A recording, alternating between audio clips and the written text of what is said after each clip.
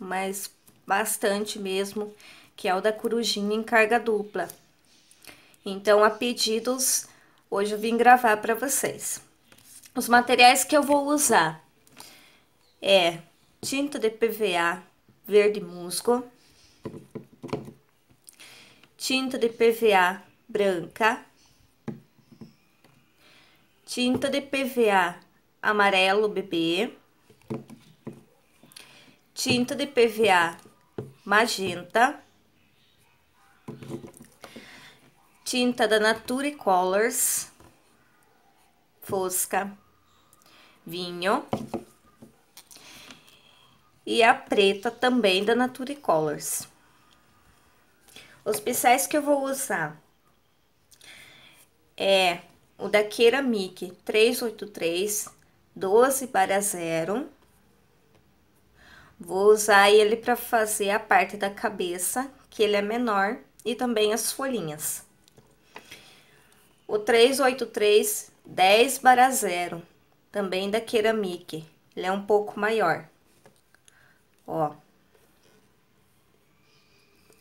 Deixa eu ver aqui para vocês mostrar aqui, ó, a diferença. Ele é mais curto e menor do que o 10 barra 0. O filete da Miss Friend número 2, adaptado. Vou usar também a dimensional glitter prata da Acrylex. Então, vamos lá. Eu vou molhar aqui meu pincel, vou começar pelo pincel maior da Keramic, que é o 10 barra 0. Vou pegar a tinta magenta.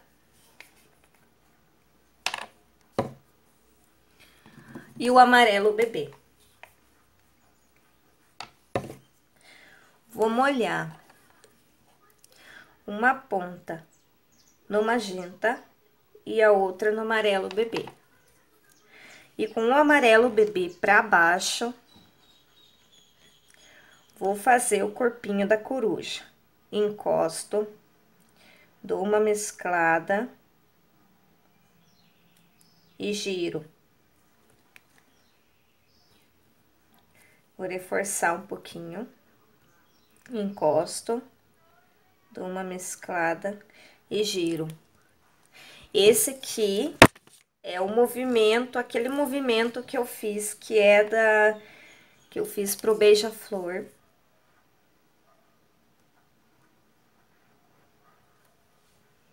Acho que não deu para vocês verem.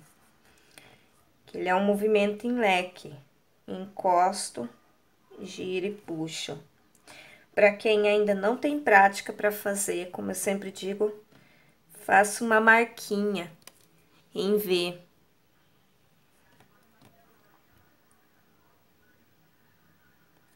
Ó. Esse movimento aqui eu vou usar tanto na cabeça da coruja como no corpinho. Eu vou fazer duas corujinhas aqui para vocês. Então, encosto e giro.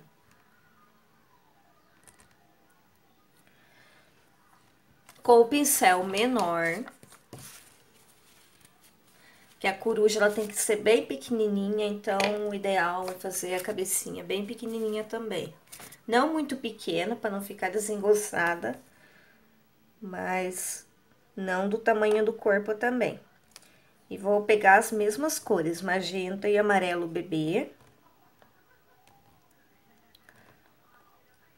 Vou encostar e fazer o mesmo movimento e girar.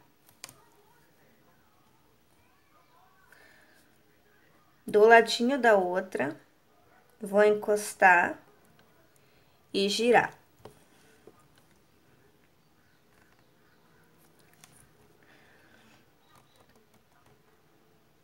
Encostar e girar encosta e gira.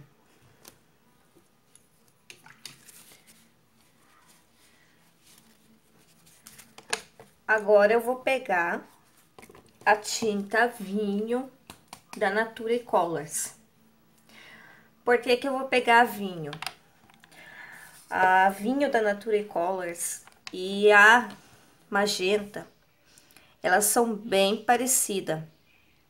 Dá um sobretom legal e eu preciso, para não ficar numa cor só, eu preciso fazer o contorno com uma cor mais escura, o contorno e a asinha com uma cor mais escura do que a cor de fundo mais clara, que é o magenta. Então, eu escolhi a, a Nature Colors, a vinha da Nature Colors. Em outras cores também serve como exemplo.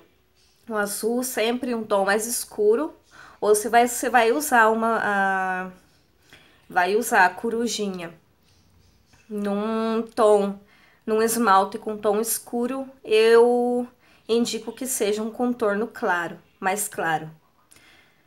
Claro que vocês têm que ver, combinar bem a cor para não ficar desparcerado, tá bom? Então, eu vou pegar, molhar o filete, como eu sempre digo, somente a pontinha, para não ficar grosseiro o contorno. E vou contornar todo o corpinho da coruja.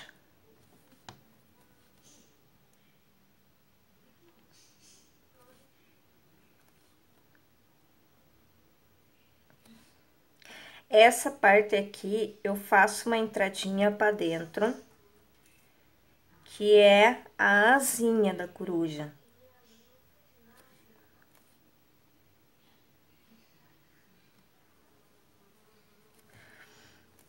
Vou contornar também a cabecinha e fazer um biquinho para cima.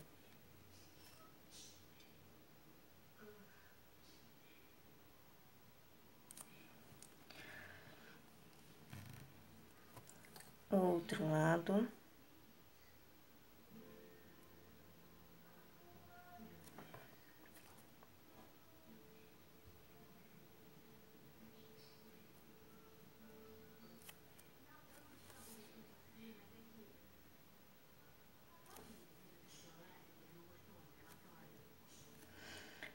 cabecinha do outro lado também.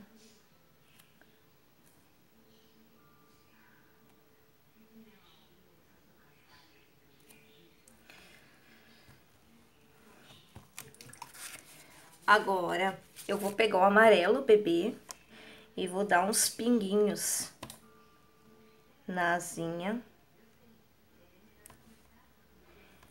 A tinta aqui na parte da asinha, para não se misturar com o amarelo bebê, ela tem que estar tá praticamente seca. Eu não tenho tempo assim de deixar secar, mas o ideal é deixar secar, fazer outros detalhes enquanto seca essa parte. Para não se misturar.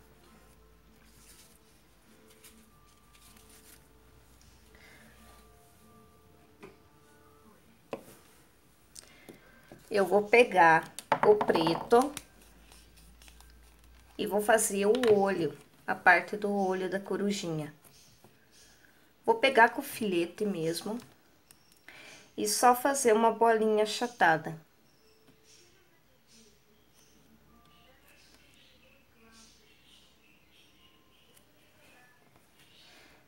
Vou tirar o excesso um pouco do filete.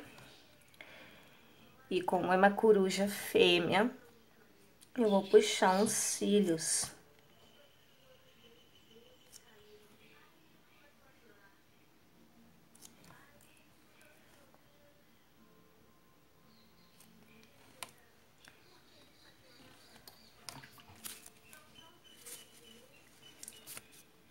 Agora, eu vou pegar, eu esqueci de mostrar pra vocês, eu vou usar a tinta, ela é da...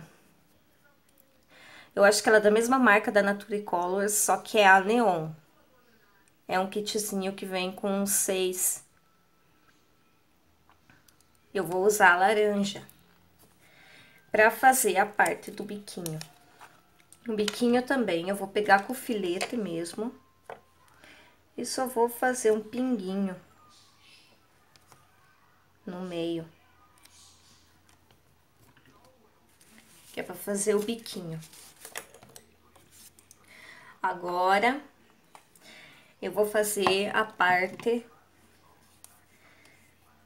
da margarida. Para quem ainda não, não viu como é que eu faço a minha margarida, eu pego, molho apenas um lado do meu pincel no branco, vou virar minha corujinha de ponta cabeça e vou só encostar e tirar. Encosta e tira. O próprio pincel, ele vai formar a margaridinha. Se vocês quiserem ela com a pétala um pouco mais larga, eu sugiro que vocês derem uma leve pressionada no pincel, mas muito bem pouquinho para não deformar as pétalas da margarida. E está aí a margarida. Simples de fazer, não precisa de carimbo, quem não tem, não tem condições de investir. Tá aí a prova que é possível fazer uma margaridinha bonitinha, fácil, com o pincel chato.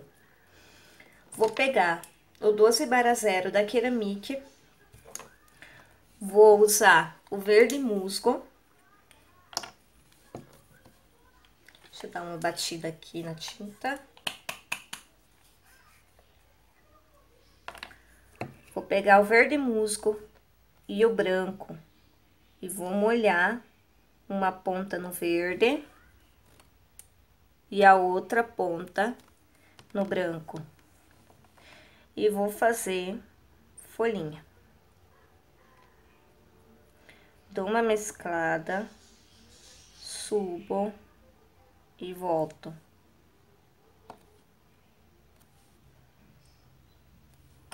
muito verde.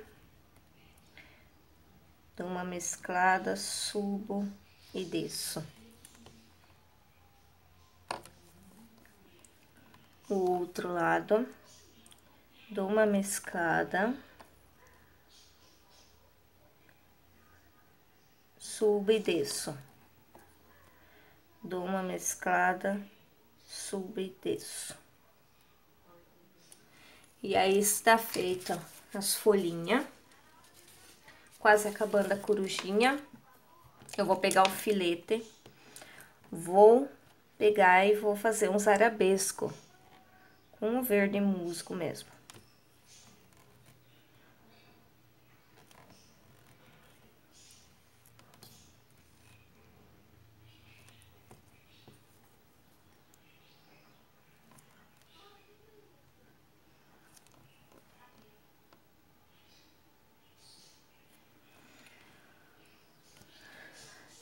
Vou pegar, molhar só a pontinha no branco e vou fazer uns pinguinhos. Do lado dos arabesco.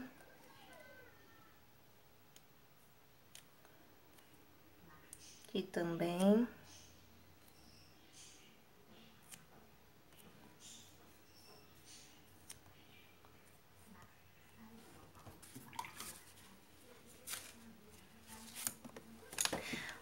Opa. Agora, eu vou pegar dimensional prata glitter e vou dar um pinguinho na margarida. Depois de ter secado a tinta, principalmente a dimensional, que se vocês passarem, enquanto ela, ela tiver meio úmida, vocês passarem a base em cima, ela vai ficar, ela vai ficar esbranquiçada, ela vai ficar opaca. Então, tem que deixar secar bem esse glitter para ficar só o glitterzinho bonitinho. É uma dica para quem ainda não, não sabe, quem ainda tá começando. E tá pronta a nossa corujinha. Espero que tenham gostado. Se gostaram, curta o vídeo, se inscreve no canal, se ainda não é inscrito. É, comenta se tiver dúvida, deixe nos comentários.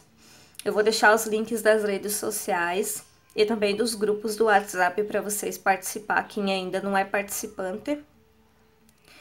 E até a próxima. Beijinhos. Tchau, tchau.